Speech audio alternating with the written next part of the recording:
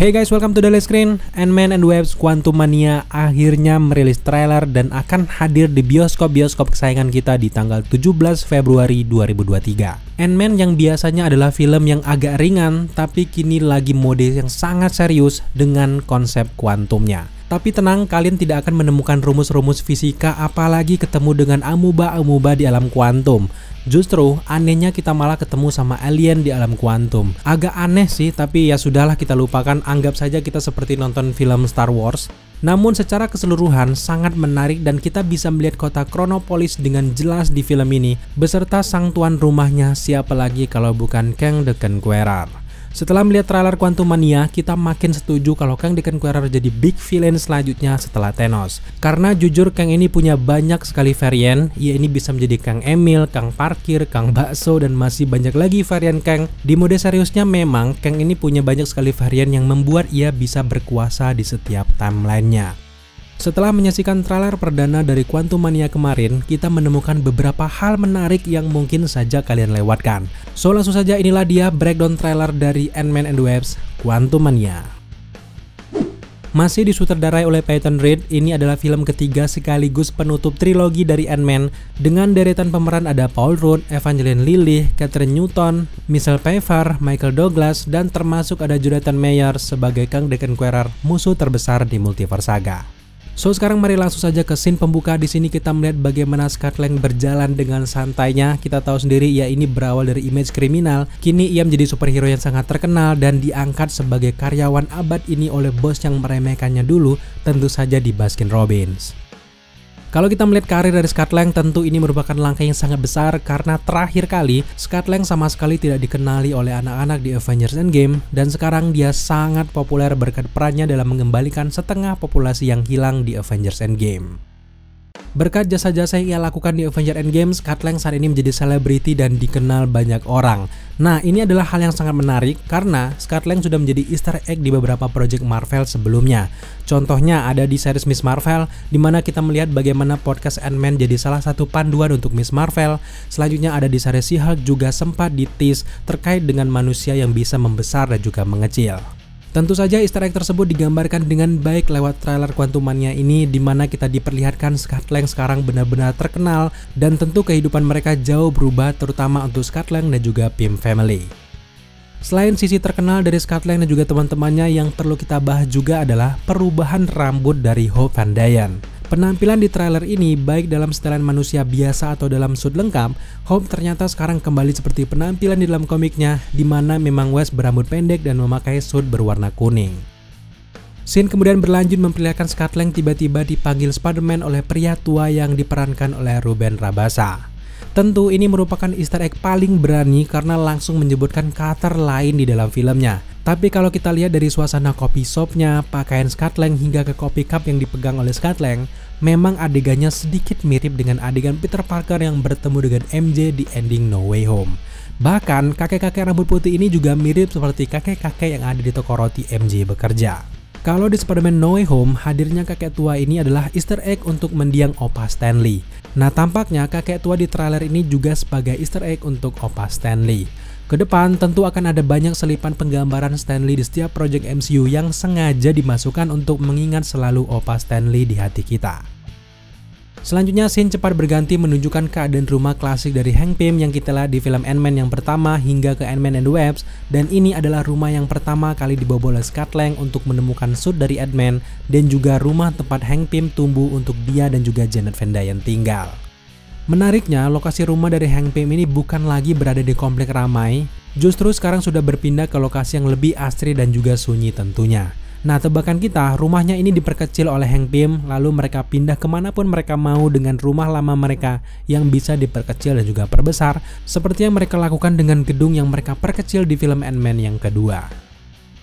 So sekarang mari kita beralih ke scene selanjutnya. Yap, akhirnya kita diperkenalkan dengan Casey Lang dengan wajah baru yang diperankan oleh Catherine Newton. Kita benar-benar bangga karena karakter Cassie Lang berkembang dengan sangat pesat. Kini, ia justru berubah menjadi anak jenius karena proses yang ia lalui selama kehilangan keluarga di Endgame. Kemudian di era sekarang, ia justru bergaul dengan keluarga Hank Pym yang otomatis membuat Cassie Lang yang memang sudah pintar sejak kecil berubah menjadi gadis remaja yang makin jenius dan sekarang kita bisa melihat ia membuat sebuah alat yang ia gambarkan sebagai satelitnya Quantum Realm. Tapi tentu di sini kita melihat Janet Van Dyne langsung marah setelah tahu fungsi alat tersebut sebagai sinyal untuk makhluk di Quantum Realm. Tapi memang tidak lama kita mengagumi penemuan dan juga kejeniusan dari Cassie Lang, Janet Van Dyne lalu berteriak memerintahkan untuk segera mematikan alat tersebut. Namun semua itu ternyata terlambat, Cassie, Janet, Scott, Hope, dan juga Hank Pym tersedot otomatis ke alam kuantum dan juga berpisah. Ternyata alat yang ditemukan oleh Casey ini tampaknya menjadi sumber masalah di keseluruhan filmnya. Kalian pasti sadar bahwa visual alat ini berwarna biru, dan warna biru ternyata adalah warna yang paling dominan di alam kuantum yang kita lihat lewat trailer ini. Bahkan saat Kang Deconqueror ini muncul pun kekuatan dan juga alatnya dominan dengan warna biru yang sama seperti alat yang ditemukan oleh Cassie Lang. Namun memang terjebaknya mereka di alam kuantum bukanlah hal yang baru bagi Janet Van Dyne dan termasuk juga karakter Scott Lang. Sosok Janet Van Dyne bahkan kita yakin akan menjadi kunci selamatnya mereka dari ancaman Kang Dekan Quarer, entah dia nantinya berkorban atau justru menemukan solusi dari masalahnya. Sedangkan untuk Scott Lang, ia selamat dari jentikan Thanos karena lama terjebak di alam kuantum. Selama terjebak beberapa jam versi alam kuantum itulah, Scott Lang juga pasti sudah memahami bagaimana keadaan geografis Quantum Realm dan menjadi modal untuk petualangannya di alam sana. Dibuat terpisahnya kelompok Janet bersama keluarganya, Scott Lang bersama anaknya, tentu bukan sebuah kebetulan saja. Sekali lagi, baik Janet ataupun Scott Lang sudah punya pengalaman di alam kuantum. Tapi tentu di sini kita yakin selama kejadian di Quantum Mania ini, meskipun mereka hilang cukup lama di dunia utama, namun di dalam sana mungkin hanya terjadi sekitar sehari atau seminggu saja. Setelah semuanya terjebak dan juga masuk ke Quantum Realm, salah satu yang membuat kita gagal fokus dan juga kaget adalah ternyata di alam kuantum kita tidak menemukan cacing-cacing pita, planktonnya SpongeBob, melainkan ternyata banyak alien dan juga penduduk aneh seperti di film-film Star Wars. Sepanjang trailer ada banyak penduduk kuantum yang justru masih baru untuk pengalaman kita selama menyaksikan film MCU. Contohnya, karakter berkepala lampu ini, nah sosok ini tentu mengingatkan kita dengan logo intro Pixar guys.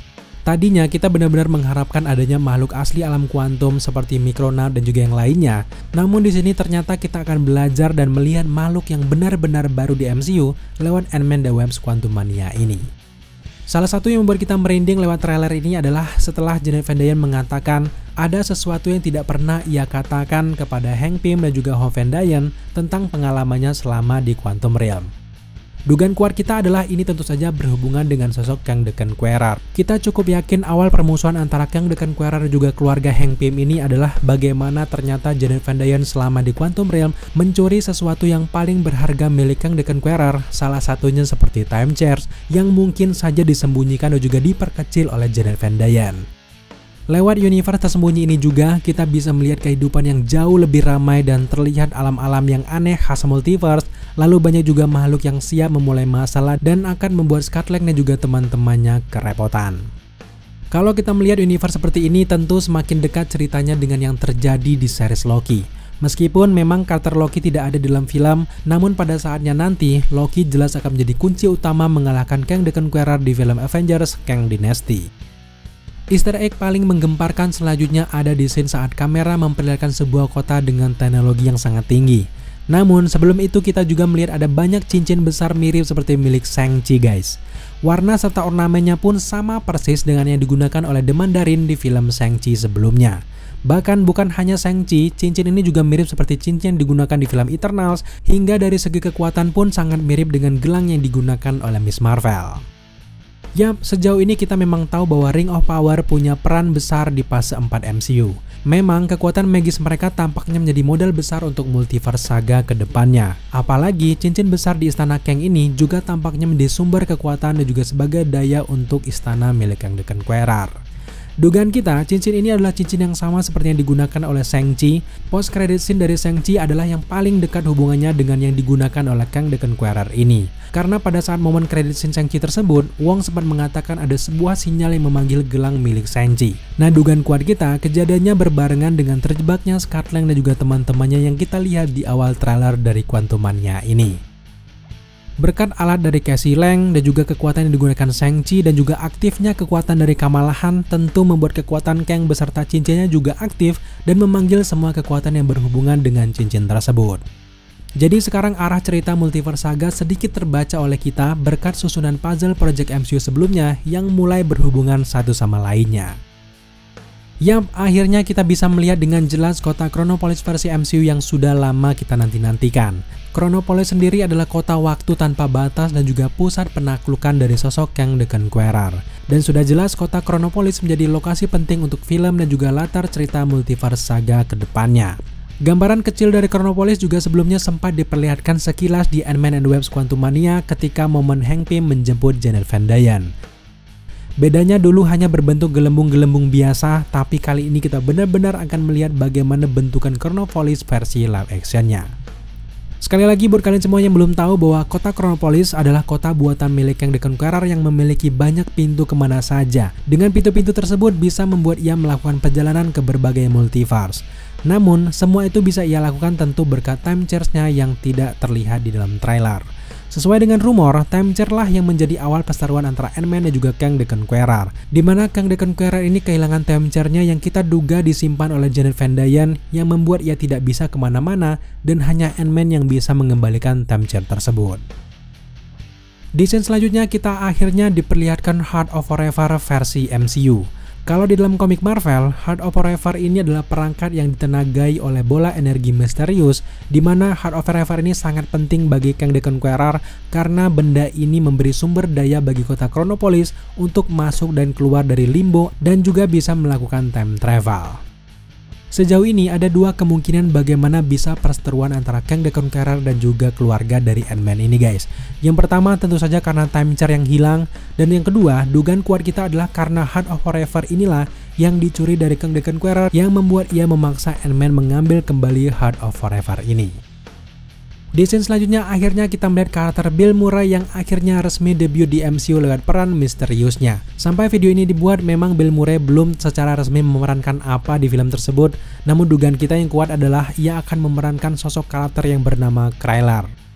Krylar sendiri bukanlah karakter besar bahkan kemunculannya hanya terjadi di satu edisi komik The Incredible Hulk pada tahun 1962. Setelah muncul sebentar, ia tiba-tiba menemui ajalnya di dalam cerita komik tersebut. Bahkan, karakter Kryler ini bukanlah karakter dari komik Ant-Man loh guys. Namun Bill Murray di beberapa interview sempat mengonfirmasi kalau ia akan memerankan villain di film Ant-Man yang ketiga ini. Nah, besar kemungkinan Marvel akan mengimprovisasi karakter ini sebebas-bebasnya karena tidak terikat dengan cerita di dalam komiknya. Teori kita, Kryler ini adalah teman lama Janet Van Dyne yang menyangka Janet Van Dyne sudah meninggal. Lalu Kryler di satu momen bekerja sama dengan Kang the Conqueror. Ketika ia melihat Janet Van Dyne lagi, Kryler tentu akan marah besar-besaran karena hubungan mereka yang kandas. Ada momen di dalam trailer ketika Janet Van Dyne menyembunyikan wajahnya. Nah bisa saja bukan hanya Kang the Conqueror saja yang ditakuti oleh Janet Van Dyne, melainkan teman mesranya siapa lagi kalau bukan Kryler. Menjelang ke detik-detik akhir dari trailer, akhirnya kita diperlihatkan langsung suit dari Ant-Man milik Cassie Lang. Buat kalian semuanya belum tahu, memang dalam komik Marvel, Cassie Lang juga salah satu superhero dari Ant-Man yang diberi nama Stature. Tapi memang belum jelas apakah namanya akan sama di versi live actionnya. Namun yang pasti sekarang adalah Cassie Lang akan menjadi anggota yang Avengers menambah jajaran yang sudah ada saat ini. So sekarang sampailah kita ke scene akhir dari trailer Ant-Man Webs Quantum Mania. Yap, akhirnya Kang the Conqueror resmi muncul di MCU setelah di series Loki diperlihatkan versi He Who Remains. Kali ini varian Kang ini akan jauh lebih jahat dibanding di series Loki. Secara kostum dan juga penampilan Kang the Conqueror sangat komik akurat sekali guys. Namun ya sekali lagi time chair-nya sama sekali belum terlihat di sepanjang trailer. Tidak hadirnya kursi waktunya ini tentu akan menjadi sumber permasalahan di film ini juga. Kang meminta bantuan Lang untuk mengambil time charge-nya kembali yang kemungkinan besar disembunyikan oleh Janet Van Dyne di suatu tempat di Quantum Realm dan jika Lang tidak mau, maka anaknya akan dalam bahaya yang sangat besar. Untuk antisipasi, perlu kalian ingat juga, varian Kang satu ini bisa saja meninggal di film ini guys.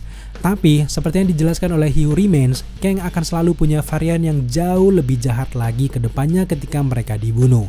Jadi, meskipun meninggal nantinya, Kang the Conqueror akan memusingkan kita dan para superhero yang pada ujungnya akan bertarung habis-habisan di Avengers Kang Dynasty. So, yang bisa kita lakukan adalah mari kita tunggu saja. Oke guys, thank you buat teman-teman sudah menyaksikan video ini sampai akhir. Mungkin hanya itu saja yang perlu kita bahas dari trailer perdana dari Quantum ini. Kalau kalian punya teori-teori menarik ataupun detail menarik yang tidak kita bahas di video, jangan pernah segan-segan untuk tambahkan pendapat dan juga temuan kalian di kolom komentar di bawah. Nantikan juga teori-teori dan juga pandangan kita tentang seberapa mengerikannya Kang Dekan Quarter di video selanjutnya. Jangan lupa Ant-Man and Webs Quantum Mania akan tayang di bioskop pada 17 Februari 2023. Oke guys, terima kasih kalian sudah menyaksikan video ini sampai akhir. Jika kalian suka dengan konten seperti ini, jangan lupa dukung kita dengan cara subscribe, like, komen, dan share. Serta jangan lupa juga untuk nyalakan notifikasi agar kalian mengetahui apabila kita mengupload video setiap harinya. Thank you guys.